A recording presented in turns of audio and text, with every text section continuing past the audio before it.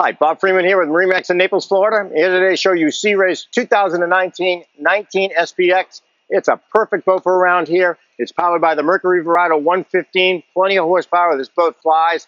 Ski tow bar.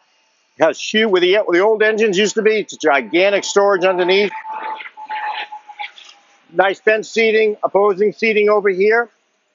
And on this side, you're set up. You've got a Simrad recess mount in there. It's a beautiful GPS. You don't hardly even know it's there, but it's top of the line. Stereo remote control right here. And on the bow, we got a nice U-shaped seating up here. Plenty of room for three or four adults comfortably up here, or a bunch of kids. Does everything you want to do. Gets you out on the water. It's uh, any questions on it? If you'd like to come see it, my name is Bob Freeman. Give me a call at 603 213 1194.